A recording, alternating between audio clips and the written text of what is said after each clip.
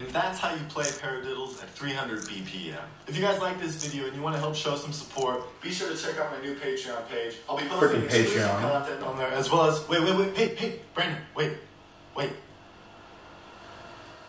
Are you talking to me? Isn't your name Brandon?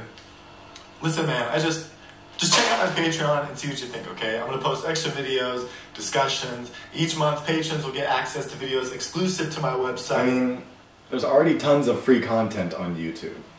okay, okay. What about just to show some support? Yeah, man. I don't know. I don't know. Okay, let me be straight. Times have been tough as a musician, okay? There have been no gigs. My cymbals are cracked. You know, I don't have a cymbal endorsement. This light right here, it's a cheap security light. This softbox, though, cardboard and wax paper.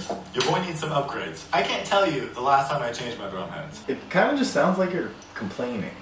I guess what I'm trying to say, man, is if you enjoy watching my videos, you know, if I've ever inspired you or helped you learn something new or maybe made you laugh, then this is a way for my viewers to directly help me, you know, that way I can continue to make these videos better and better. I love the drums.